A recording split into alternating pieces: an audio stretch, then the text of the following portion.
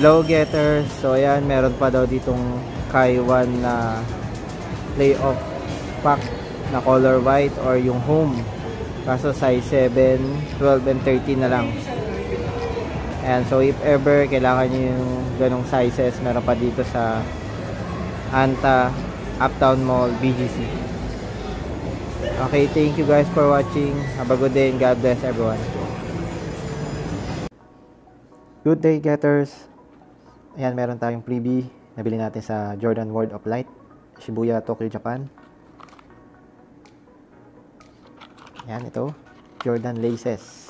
So, doon natin siya nabili sa Shibuya, Tokyo, Japan. Ayan yung design niya, black laces. And meron dito nakalagay, Air Jordan. Sukat niya, 54 cm, 54 inches, or 137 cm. So, kasya naman to sa Jordan 1 low, mid, and mas okay nga dito sa high kasi pwedeng ilawit tong ano, may nakalagay na Air Jordan. So, mas makikita siya.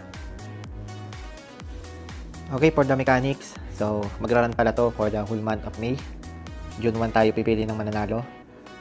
So, ito yung number 1 mechanics. So, dapat magko-comment kayo for any videos na ipopost natin for the month of May. Hashtag GetByDren 052024.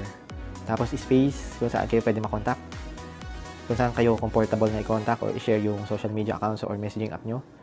For example, ito, IG, GetByDren, Facebook, Messenger, Viber. Ayan, kayo na mamili. Lagyan nyo na lang kung ano siya.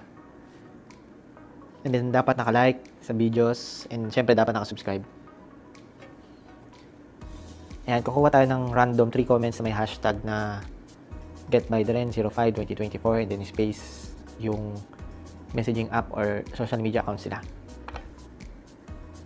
Ayan, again, ito yung sample.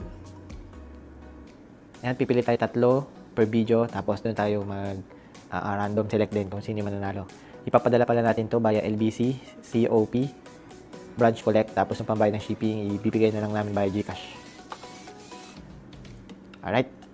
Again, alike lahat ng videos na i-upload namin for the whole month of May. Ayan, please comment na lang hashtag getbydren052024 in space kung saan kayo pwede contact.